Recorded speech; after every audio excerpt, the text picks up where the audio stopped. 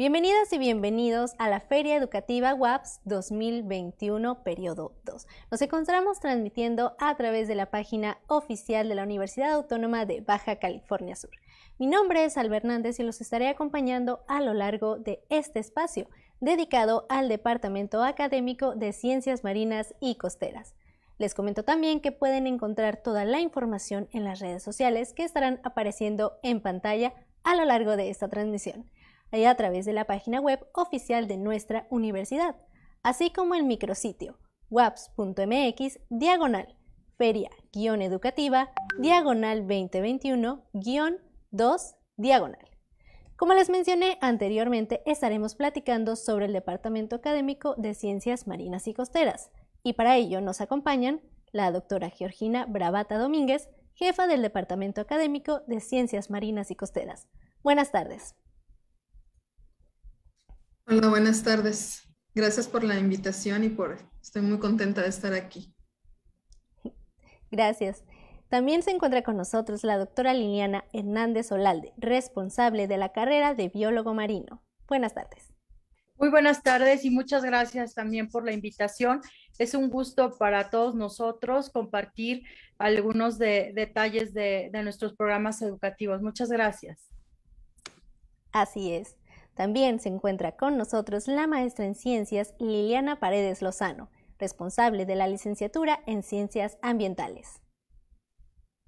Hola, buenas tardes a todos. Muchas gracias eh, nuevamente por la, por la invitación y eh, pues esperamos que muchos más muchachos se, se animen a estudiar con nosotros. Gracias. Claro que sí. También contamos con la presencia de los alumnos y egresados de las distintas licenciaturas que integran este departamento. De la carrera de biólogo marino nos acompañan Alejandro Rodríguez de la Peña, alumno del octavo semestre, Cindy Dávalos Quintana, alumna del noveno semestre, y de la licenciatura en Ciencias Ambientales, Diana Karen Rodríguez Carrillo, alumna del quinto semestre, y Claribel Archila Rodríguez, graduada de la primera generación de Ciencias Ambientales. Pues bienvenidas y bienvenidas, cedemos el uso de la voz a la doctora Georgina Bravata Domínguez, jefa del Departamento Académico de Ciencias Marinas y Costeras. ¿Qué le parece si iniciamos hablando sobre cuáles son los programas educativos que ofrece el departamento? Sí, cómo no. Mira, tenemos dos programas educativos en el Departamento de Ciencias Marinas y Costeras. El más antiguo es el de biólogo marino que inició, pues, cuando inició la, la universidad allá en los setenta y tantos, y el, programa educativo de ciencias ambientales, licenciatura en ciencias ambientales, que este es más reciente y eh, eh, digamos que inició las actividades en 2017. en este momento se encuentran inscritos en biología marina alrededor de 328 alumnos y en ciencias ambientales alrededor de 98 alumnos, lo que hace que en el departamento pues hayan 426 más o menos eh, alumnos inscritos, ¿no? En este momento. Como bien mencionabas, em, este, Claribel es integrante de la primera generación de ciencias ambientales que egresó el pues digamos que terminó su periodo en 2020, pero pues ya hacen su, su, digamos que el evento formal hasta este año, ¿no? Entonces, em, pues es nuestra primera generación, ya tendremos tiempo de festejar. En este, el programa educativo biólogo marino actualmente se encuentra acreditado por el, eh, la, la AMPROMAR, que es el organismo acreditador. Tenemos eh, pues ya son varias reacreditaciones. la última que ocurrió en 2018 es mm, de carácter internacional y en este momento eh, nos encontramos actualizando el plan de estudios y próximamente, eh, pues ya que lo tengamos listo, pues también solicitaremos la reacreditación de este programa educativo. Y a la par, bueno, ya tenemos que empezar los trabajos para reunir la información y solicitar la acreditación para ciencias ambientales. Bueno, todavía este es un proceso, ¿no? Se oye como muy rápido, pero en realidad es un proceso que, que lleva un cierto tiempo. Eh, también eh, me gustaría mencionar que en este momento estamos realizando el, como el programa de biólogo marino abre semestral, el próximo eh, periodo 2022-1 tenemos una nueva generación y ahorita estamos en ese proceso de, de los aspirantes y de hacer los exámenes pertinentes. En el caso de ciencias ambientales, pues es una carrera anual, así que hasta, hasta dentro de, de, un año, hasta el 2020, hasta el 2022-2, tendremos una, pues una nueva generación, ¿no? Que un poco es este, el enfoque para esta feria educativa. Entonces, como bien dijo la maestra Liliana eh, eh, Paredes, pues esperemos que pronto tengamos nuevos integrantes, ¿no? Y nuevos reclutas. Así es, gracias doctora por la información. Y eh, ahora continuamos y cedemos el uso de la voz a la doctora Liliana Hernández Olalde, responsable de la carrera de biólogo marino, y respectivamente a la maestra en ciencias Liliana Paredes Lozano, responsable de la licenciatura en ciencias ambientales. Y continuamos con estas preguntas que son bastante relevantes para todos los aspirantes que pues les interese cualquier carrera dentro de este departamento. ¿Cuál es la importancia que revisten estos programas educativos en el contexto de nuestro Estado, en México y también en el mundo? Muchas gracias. Pues como bien dice la, jefa de departamento, la doctora Georgina Bravata, es un, en el caso del plan de estudios de biólogo marino, es un plan de estudios que tiene eh, desde que la universidad se, se, abrió, estamos hablando de que ya tenemos generaciones, eh, este, bastantes generaciones, desde 1976 es que está, está abierto este plan de estudios y ha tenido diferentes eh, actualizaciones, en donde estas actualizaciones, que generalmente son cada cinco o seis años, eh, se considera todos los planes de desarrollo, el que son desde los planes de desarrollo locales, regionales, nacionales, y en última instancia, dada la acreditación que tenemos de este plan de estudios a nivel internacional, pues también se consideran aspectos de eh, necesidades que la, que la misma dinámica de cambios se, se van dando en, todos estos ámbitos, desde el regional eh, este, hasta el internacional. Y pues parte del objetivo que tenemos pues es resolver eh, muchas de las problemáticas que, que se tienen en todo lo que es este ámbito marino.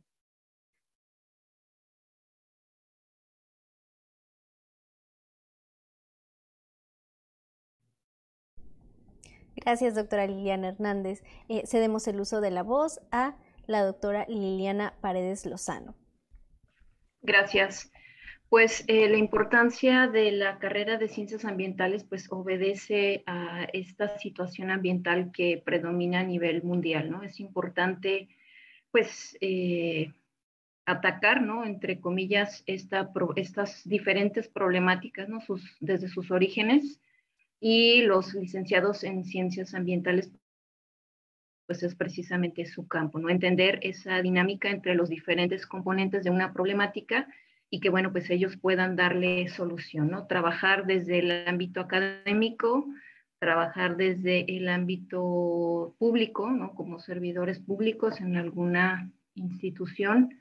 Y bueno, eso eh, a nivel eh, estatal, ¿sí? Eh, hay un crecimiento poblacional importante y pues esto conlleva más problemas ambientales, por lo tanto es prudente pues el generar eh, personas que estén preparadas para precisamente atender esa problemática. A nivel pues nacional e internacional, pues es lo mismo, ¿no? Los chicos una vez que salgan al, al, mercado laboral, bueno, pues eh, van capacitados para entender una dinámica no nada más estatal, sino la dinámica global, ¿no? Respecto a la problemática ambiental. Y bueno, pues reitero, es importante eh, pues que generemos ese conocimiento y preparemos a la gente para llevar eh, la batuta ante estas situaciones eh, pues drásticas ¿no? que conlleva el, deterioro ambiental.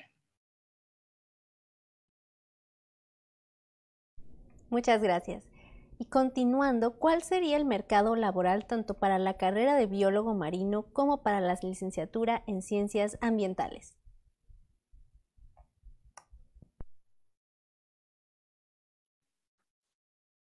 Bueno, en, en, ese, en ese sentido, el campo laboral, pues más o menos podría traslaparse, pero em, como que cada una cada profesión como en su, en, su ámbito, ¿no?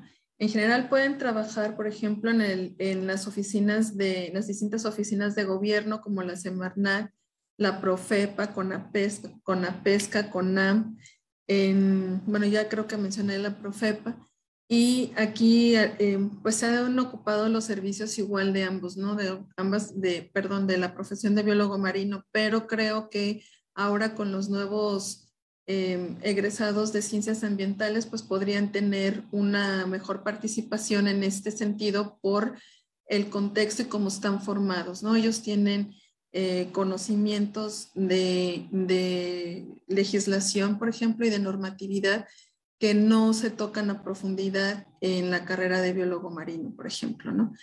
En el caso de, em, em, pues digamos que oficinas particulares podrían trabajar en consultorías, en despachos de abogados eh, que son particularmente ambientalistas y también en otras, eh, como poniendo sus propias agencias, ¿no? Digamos. No sé si las, las maestras podrían em, ampliar un poco más este, este ámbito, pero en general eh, son los sitios en donde normalmente trabajan o pueden trabajar. Y bueno, además del, sector académico, ¿no? Ya sea en el estado, en el país o fuera de, del país. Entonces, no sé si, si, Lili Hernández o Lili Paredes quisieran mencionar algo más. Eh, sí, Gina, pues eh, en la parte de producción, eh, también tienen, tienen ahí bastante campo para desarrollar en toda la parte de biotecnología también y formar también sus propias empresas. Hay algunos egresados muy exitosos que, llegan a, tomar la decisión de ser emprendedores y, de formar también estas, estas empresas que no solamente pueden dedicarse a, la producción de organismos ya para, para algún tipo de consumo, sino también de alimento, para, para, estos, para estos organismos como, como cultivos anexos o también en el, en el área de microbiología para poder eh, fomentar la salud de, de, los organismos, pues también eh, muchos de nuestros, de nuestros egresados están realizando algunas de estas, de estas actividades. Y pues como, como bien decía la doctora, pues en, en parte de, del trabajo de educación ambiental también hay, hay bastantes egresados trabajando en todo esto de, la educación ambiental. Lili, no sé si quieras este, mencionar algo más. Sí, gracias. Sí, pues como comentaban las doctoras, eh, pues hay campos en los que coinciden, ¿no? Tanto biólogos como, como licenciados en ciencias ambientales, pero no se traslapan. El conocimiento eh, que tienen cada, el conocimiento que adquieren en cada plan educativo, pues les permite desarrollar eh, desarrollarse en diferentes planos coincidentes, más no repito eh, que se traslapen, no se estorba pues uno a otro.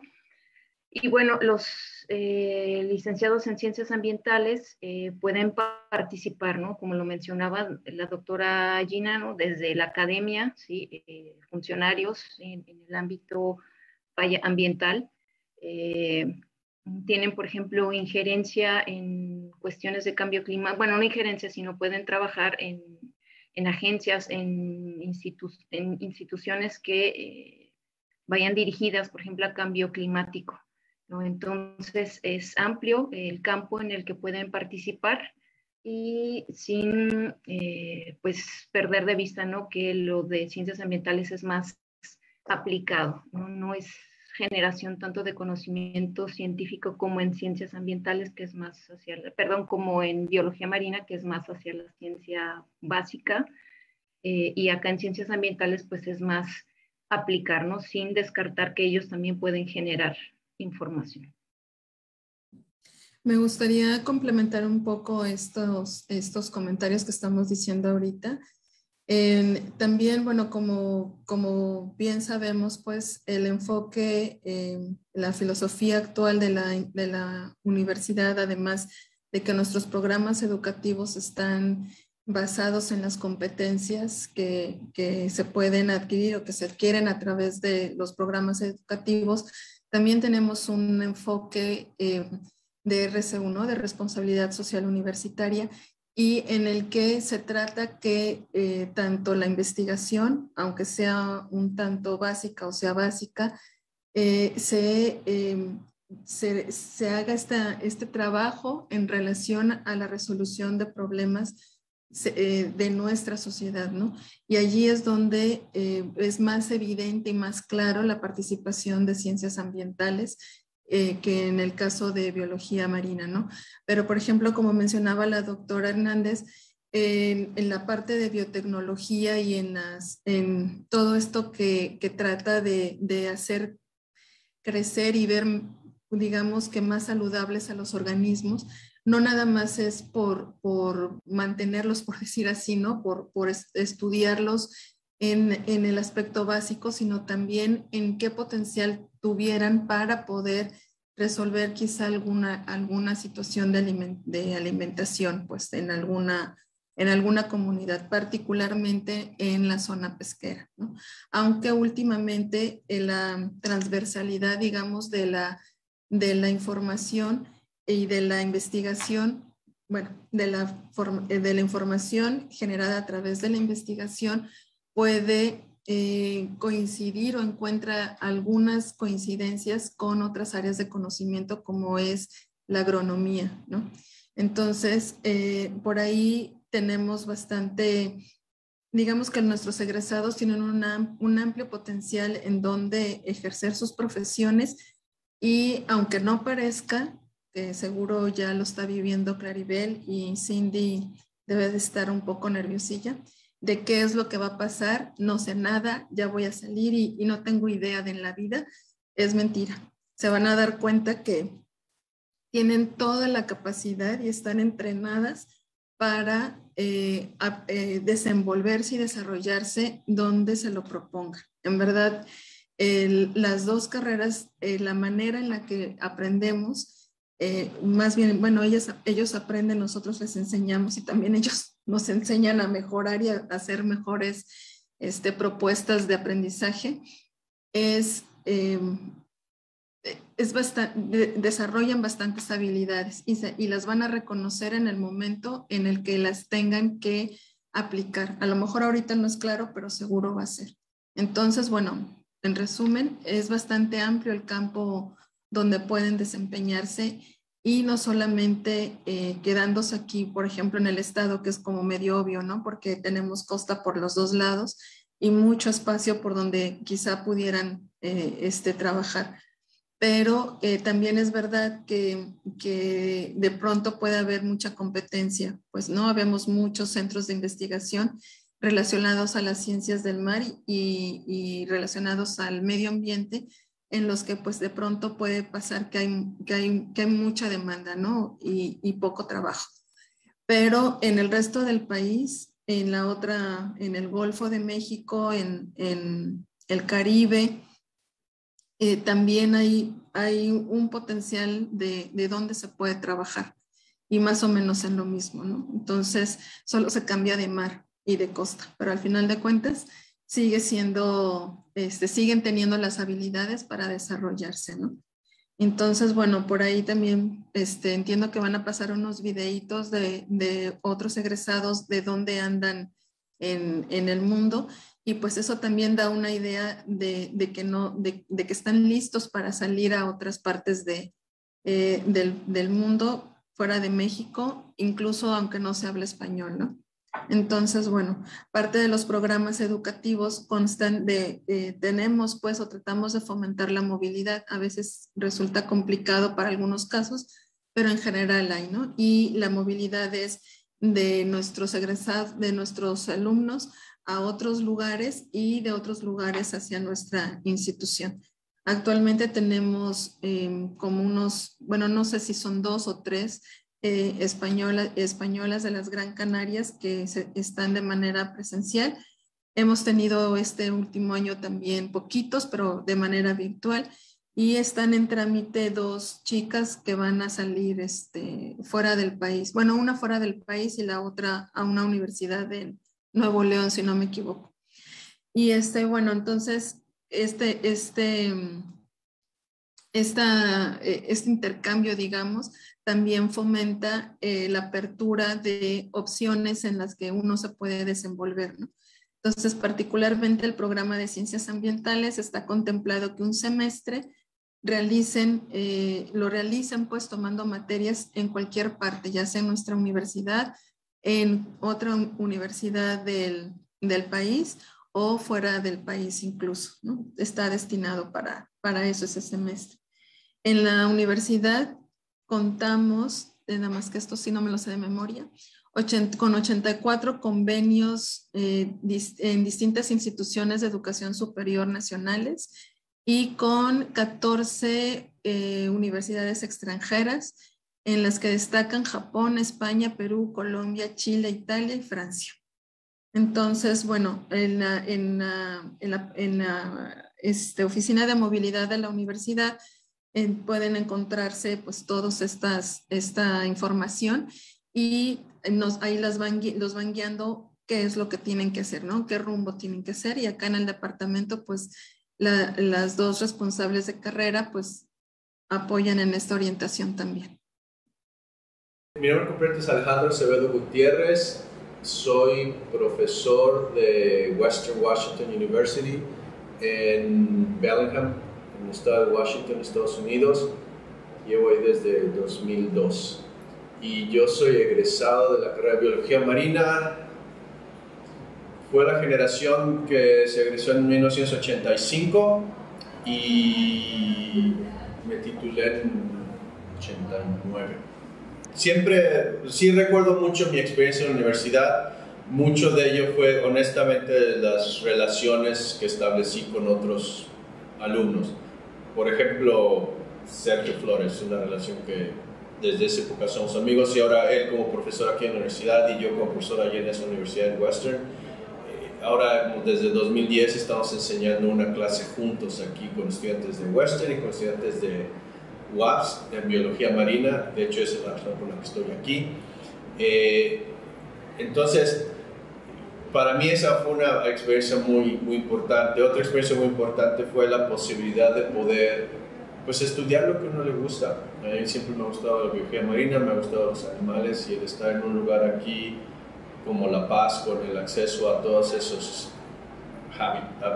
hábitats, ecosistemas y con, pues sí, la, el apoyo y, y la, la, ayuda de, de, varios, de varios maestros. Yo me acuerdo mucho de profesor Enrique González, por ejemplo, que nos dio invertebrados. y fue uno de los nuestros que, que, sí me, pues nos inspiraba mucho a, ayudar. Entonces, una experiencia muy, muy, muy provechosa. La disciplina fue, ha sido muy importante para, para mí desde el punto de vista de poder hacer lo que me gusta. Entonces, ¿y qué me refiero a eso? Me refiero a que, pues, estudiar y, aprender y sí divertirnos y todo y hacer cosas, pero de fuera de lo que es lo académico, pero, pero siempre asegurándome de que aprendiera y de que pudiera trabajar. Y algo que he aprendido es muy importante es el aspecto de la palabra, o sea, pocas palabras, si dices voy a hacer esto, lo haces. No necesitas ni recordatorios ni nada. Entonces, eso es algo que sí lo fui forjando aquí en, en la universidad.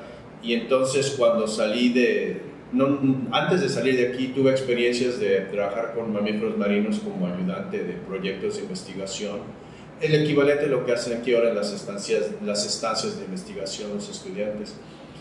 Y la gente se dio cuenta de unas cosas, una que pues conocía, sabía de, de, los sistemas, de biología, de ciencia, que era lo que había estado aprendiendo en la universidad, pero también que en base a esa disciplina que fui forjando como estudiante, hacía las cosas, trabajaba bien y, y si decía que hacía, iba a hacer algo, lo hacía y, colaboraba con otros. Entonces, esa, esas cualidades pues hicieron que gente diga, oye, ¿sabes qué? Tengo esta posibilidad de proyecto, ¿quieres ayudar? Mi profesor que está en Estados Unidos está buscando un estudiante de doctorado. Yo le dije que la verdad que sí, tú muy bien y que sería excelente que fueras, porque no vas a verlo. Así en realidad, así fue como, como fui acabando, incluso antes de salir, cuando estaba saliendo de la carrera, eh, ya tenía la opción de ir a hacer el doctorado a la Universidad de Texas eh, con un profesor que sí muy, muy conocido en el campo de, que yo me interesaba, ¿no? de, comportamiento y de, ecología de, cetáceos. Entonces, una vez hecho eso, otra vez con acabando el, doctorado, mis amigos, con colegas con los que había trabajado, que estaban ahora estaban en Santa Cruz, en California, pues habíamos trabajado bien, lo mismo, me habían recomendado hacerlo, entonces necesitaban ayuda con algo y me dijeron, ya acá tu doctorado, necesitamos a alguien que es un postdoctorado en Santa Cruz. Yo fui. Y así, o sea, esas cosas hacen que, que uno se dé cuenta que esta persona, con esta puedes trabajar. Entonces, para mí la UAS fue, la, fue la, el origen de, de, forzar, de uno, de forjar esa disciplina de trabajo y dos, de, el origen de, de, aprender sobre ciencia y de aprender sobre, sobre biología marina. Y eso sí me han ayudado a hacer lo que, lo que querido hacer. Cuando apareció el anuncio de, buscamos miembros de facultad de la Universidad Western Washington University, mandé mi solicitud y, y todo lo que había hecho desde la UAPS, Texas A&M, Santa Cruz, todo lo que había hecho fue parte del paquete de decir, ¿saben que yo, yo creo que podría ser una buena opción. Entonces, sí, yo estoy muy, muy contento, muy satisfecho de, de, haber venido aquí y de, de, haber empezado a formar mis bases de, científico. Sí, mire, yo, yo le digo a mis estudiantes también en Western lo mismo que les voy a decir, consejo que voy a decir aquí. Una, hagan lo que les guste hacer porque cuando tengan un trabajo van a ser un buen de eso. O sea, es todo. Pero hasta yo les digo a mis estudiantes, estar en mi oficina, es distinto, pero es la misma idea. Ellos vienen a mi oficina y si regresan a mi oficina ya 20 años después, ahí yo voy a estar, en esa misma oficina, haciendo lo mismo. Entonces, sí suena, para ellos es toda su vida, porque son 20 años, básicamente la edad que tienen, incluso aquí sería lo mismo. Entonces, si se imaginan que van a la oficina de uno de sus profesores y regresan 20 años después, ahí van a estar ellos, haciendo, yo ahorita veo profesores que tuve, allí están en sus oficinas trabajando. Entonces, lo que trato de decir es que para mí la, la epifanía que salió es, pues más me vale hacer lo que gusta, porque voy a hacer un buen de eso, es lo que voy a estar haciendo. Y si no me gusta, pues mejor busco otra cosa. Entonces, ese es mi primer consejo, hacer lo que nos gusta, porque vas a hacer un buen de eso. Y la otra, el otro consejo es simplemente, eh, y, y, no, es, no es un cliché, pero, pero, es, la, es la verdad, es simplemente trabajar, pues trabajar duro, ¿no? O sea, en realidad, sí, uno puede hablar de favoritismos, uno puede hablar de que si a veces la vida es injusta, bla, bla, cierto, pero al fin y al cabo, las aguas vuelven a su cauce y en mi experiencia, en la mayoría de los casos, las personas que trabajan duro, las personas que hacen las cosas, que dicen que lo van a hacer y lo hacen, que trabajan bien con otros, que son buenos colegas, son las que normalmente ve uno haciendo lo que les gusta, teniendo esa oportunidad de hacer lo que les gusta. Yo normalmente, hablando de cosas de este, de este tipo de temas, divido a las personas en dos. Las personas que tienen, que hacen lo que dicen que van a hacer y lo hacen bien, y las personas que tienen muchas razones por las cuales no pudieron hacer o no hacen lo que dicen que van a hacer. Y honestamente, todo el mundo va a querer trabajar con estas, con las personas que se, se las ingenian para hacerlo. Y no con las personas que tienen, pues sí, eh, razones, pretextos, excusas, lo que queramos llamarle, pero no las hacen. Entonces, ese es mi segundo, mi segundo consejo, es que tratar de ser la persona que hágase las cosas. ¿Cómo te las ingenias? Es esto es un pero tú lo haces. Entonces ese sería mi, mi, segundo consejo, hacer lo que nos gusta y, y, hacer lo que decimos que, ser de las personas que, que hacen, no nada más que, que dicen. Eh, ¿Viene cada dos años? estoy viniendo cada dos años, de 2010 he venido cada dos años. Yo vine desde que me fui en el 89, recuerdo haber venido el 2001, cuando me dieron un premio en la universidad y el Estado, y luego regresé en el 2010, y ya a partir del 2010 he venido cada, cada dos años con esta clase que le mencioné en los veranos, y sí he notado, he notado muchos cambios en, en el campus, en, en, las instalaciones. El laboratorio, los, la unidad de Pichilinga no estaba cuando yo estaba en la universidad entonces, había nada más unos edificios, ¿no? sí, sí he notado bastantes, bastantes cambios para, para bien, ¿no? Incluso el campus de Los Cabos no estaba, la biblioteca que está ahora cuando yo, cuando yo me.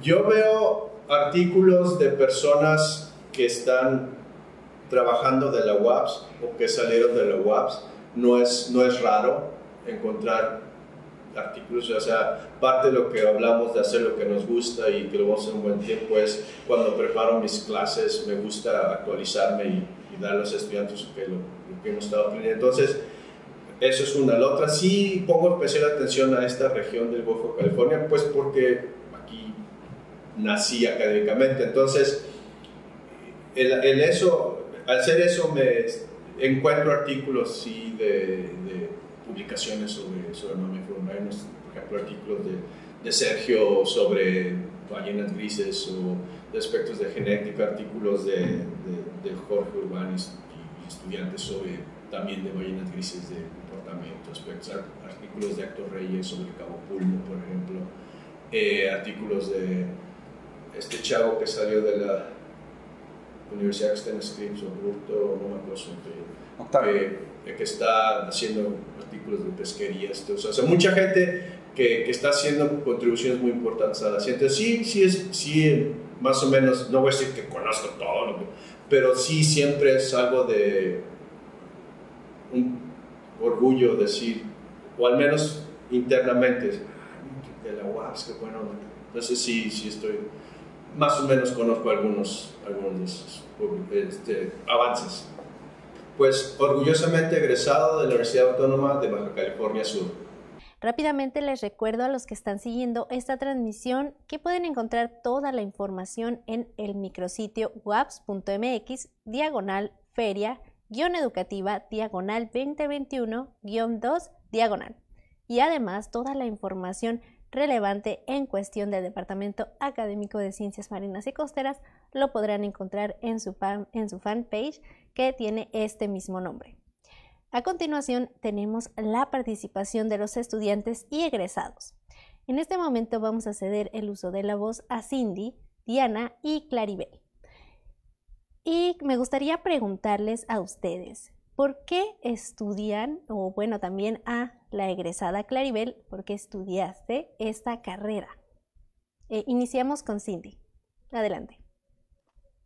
Hola, buenas tardes. Eh, pues yo decidí estudiar biología marina porque me interesaba mucho como la tecnología y el, pues esta innovación en cuanto a, a qué se podía hacer, ¿no? ¿Qué se puede hacer? Y también como toda mi vida he vivido aquí en La Paz, pues como, como cualquiera, ¿no? Enamorado del mar y de la vida y de todo lo que pues este esconde, ¿no? Y una manera para relacionarlas pues fue estudiar, ¿no? La carrera de biología marina y pues la verdad estoy muy contenta con mi decisión y con la carrera y con la universidad porque pues la verdad es que no podía pedirle más.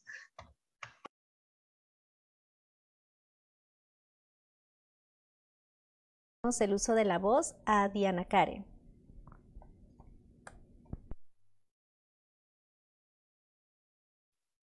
Hola, eh, pues yo elegí la carrera de ciencias ambientales. No fue mi primera opción, mi primera opción siempre fue biología marina, sin embargo, la verdad agradezco mucho haber tomado ciencias ambientales, ya que es una carrera que la verdad tiene muchos factores que te pueden ayudar a saber qué quieres al final del día. Es una materia que tiene muchos temas, eh, y no solo el, el, del mar, ¿no? A mí sí, me sigue apasionando mucho el mar, sin embargo he descubierto mucho el amor también por los bosques, por las montañas y es algo que la carrera me ha enseñado y la verdad eh, también, o sea, súper enamorada de la carrera y agradezco mucho haberme quedado en, en esta.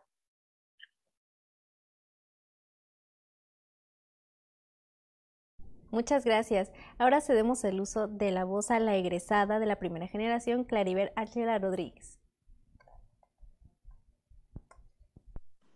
Eh, hola, buenas tardes. Eh, pues primero que nada, yo elegí la carrera de ciencias ambientales eh, más que nada porque es multidisciplinaria. Es demasiado, diría yo, multidisciplinaria y pues en sí, el perfil de un egresado de la carrera es pues el, perfil biológico. Eh, y pues esto quiere decir que eh, nos vamos a dedicar a estudiar algún ecosistema, pero eh, esto sin dejar a un lado los factores sociales, económicos y culturales. Entonces, em, esto lo hace, pues como dije, multidisciplinario y un poco más, un poco más completa. Em, pues yo igual estoy muy, sigo enamorada todavía de mi carrera. Eh, es una carrera que la verdad em, te enseña demasiado en cuanto al, al aprovechamiento más que nada, que es lo que necesitamos ahorita, aprovechamiento sustentable y conservación de, de nuestros ecosistemas. Muchísimas gracias, Claribel. Y continuando, ¿cómo se sienten o sintieron, en el caso de Claribel, en la carrera y pues en nuestra universidad, en la UAPS? Bueno, yo eh, me sentí muy contenta con, la carrera y con la universidad, eh, porque pues la verdad sí hay eh, mucho apoyo en cuanto pues a prácticas de campos, al uso de laboratorios, que eso creo que le da un plus a las, a las dos carreras, que es el, el ir a campo, el explorar lo que vamos a estudiar, los ecosistemas y también el, uso y pues el aprovechamiento de los, de los laboratorios. Y pues en general muy, muy bien. Eh, en lo personal también me siento, aún soy estudiante, me siento muy bien con la carrera. Me gusta que, así como la carrera de ciencias ambientales, que al ser multidisciplinaria, todos vamos como tomando nuestro camino. O sea, vamos juntos, pero cada quien eh, se enfoca en algo y los maestros en todo están y en todo te apoyan. Entonces, me gusta que, te apoyan, o sea, te van apoyando durante toda la carrera a que tú desarrolles como pues ese pensamiento de investigador, que es a lo que estamos como, es el objetivo final de la carrera. Entonces, se me, se me, me siento muy bien con que te ayuden a que estés intentando sobre la rama que tú elijas. Y pues también, como dice Claribel, eh, el hecho de que la universidad tenga tanto acceso o tantas facilidades con respecto al uso de laboratorios, las salidas de campo y en nuestro caso, pues la facilidad de tener estos dos ambientes acuáticos, como mencionaba la doctora Georgina, eh, que tenemos por un lado el Golfo de California y por otro lado el Pacífico, lo cual nos, nos permite y nos da muchas más facilidades que otras universidades para el estudio en campo de lo que queramos, ¿no? Además de que durante la carrera, pues, al estar aquí, eh, es uno de los estados con mayores este, centros de investigación. Entonces, en cualquier duda que tengas, siempre tienes la facilidad eh, de buscar o de iniciar tu labor en cualquier laboratorio.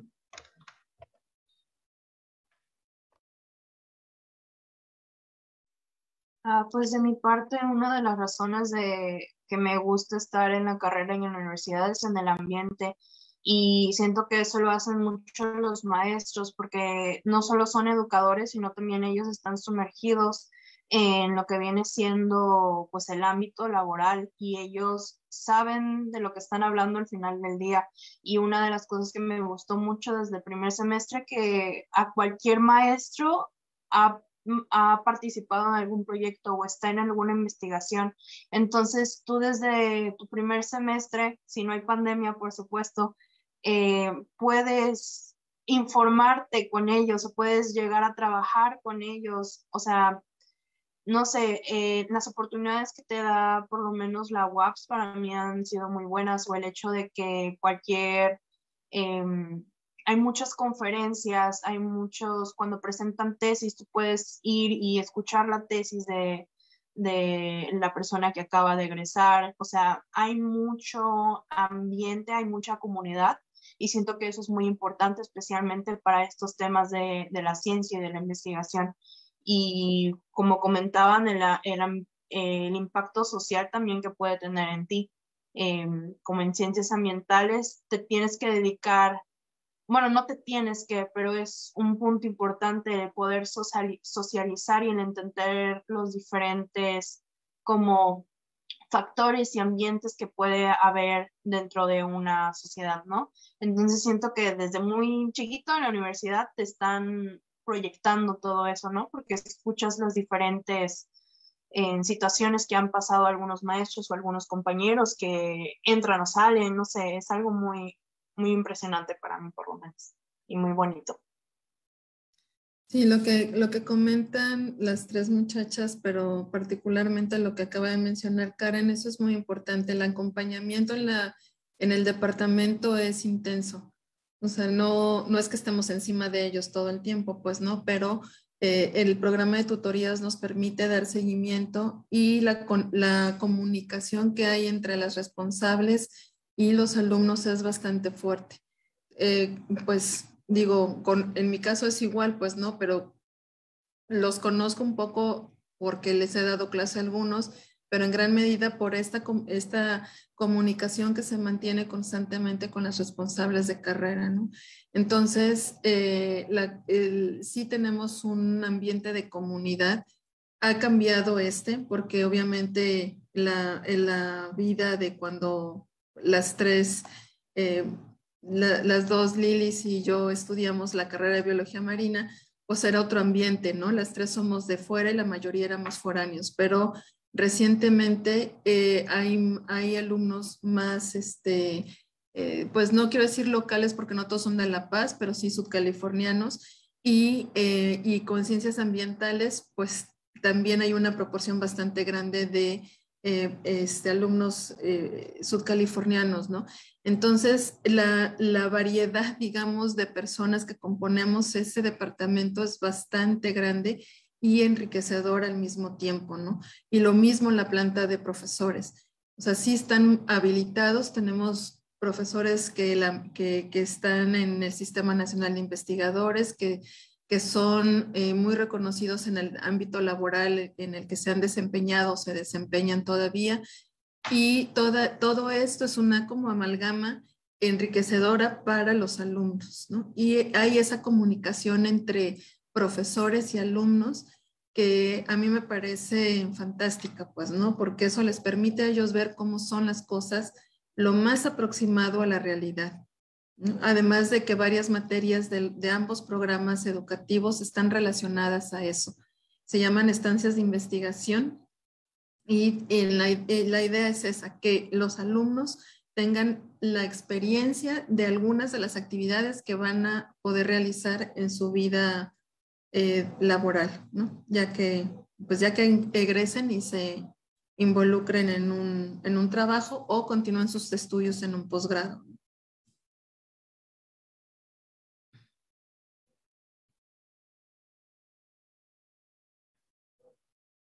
Excelente, muchísimas gracias doctora.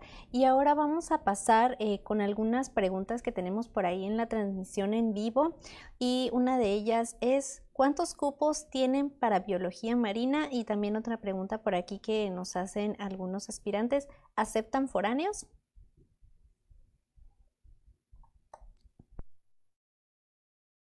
Eh, lo, respondo. El, programa educativo de, de biología marina se abre dos veces en el año. Y tenemos un grupo en, en invierno y dos grupos en verano. Aproximadamente los grupos son de 35 alumnos por supuesto que se aceptan eh, foráneos, como bien dijo la doctora Bravata, pues está muy, muy, es una gran dinámica de, mm, movilidad la que tenemos de, a nivel nacional, internacional y, mucha incorporación de, estudiantes eh, locales, los estudiantes del Estado y por supuesto que se aceptan este, alumnos foráneos. Las convocatorias ustedes las pueden consultar en la página principal de la universidad. Viene perfectamente bien descrito todos los pasos a seguir y pues, eh, pues los esperamos eh, aquí con, con, nosotros. También que quisiera resaltar, hay una de las, de, las preguntas que constantemente me hacen, que es ¿por qué debo elegir eh, biología marina o ciencias ambientales de la Universidad Autónoma de Baja California Sur y no otras ofertas educativas en otros estados o en otras universidades? Y pues mi respuesta siempre va para recapitular, pues la posición geográfica en la que nosotros. Estamos estamos rodeados de muchos ambientes que, que podemos nosotros enriquecer toda la parte que estamos eh, de conocimientos que nosotros estamos adquiriendo. Tenemos un laboratorio natural eh, muy muy rico alrededor de toda nuestra, de toda nuestra posición en donde nos, nos ubicamos, Cabo San Lucas y, y La Paz. En estos dos municipios es donde se imparten nuestros, nuestros programas educativos, en La Paz, Biología Marina y Ciencias Ambientales, y en Cabo San Lucas, Ciencias Ambientales. Y pues también la, toda la, planta docente, la, todo lo que la planta docente puede aportar por todos los conocimientos, la experiencia que tienen, y los vínculos que tenemos con otras instituciones el, potencial de logro que tienen también todos nuestros egresados, pues habla mucho de,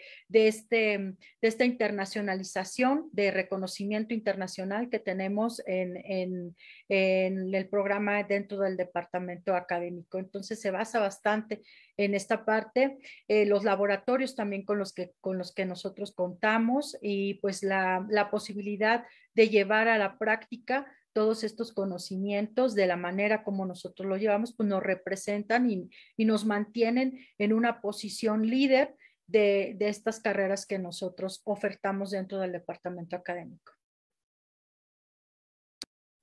Mm, yo nada más completando a lo que mencionan las doctoras, eh, en ciencias ambientales, como se mencionaba al principio, es una entrada solamente una vez al año, en el verano, hay un cupo de 35 alumnos y la carrera es solamente en el turno vespertino. Entonces es anual y eh, solo un grupo por las tardes.